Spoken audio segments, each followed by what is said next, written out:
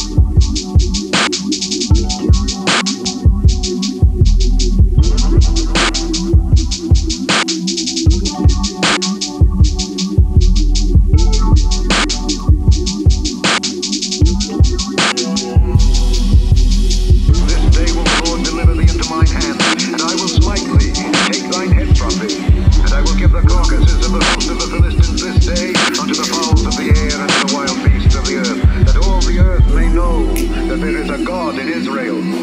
And all this assembly shall know that the Lord saveth not with sword and spear, for the battle is the Lord, and he will give you into our hand.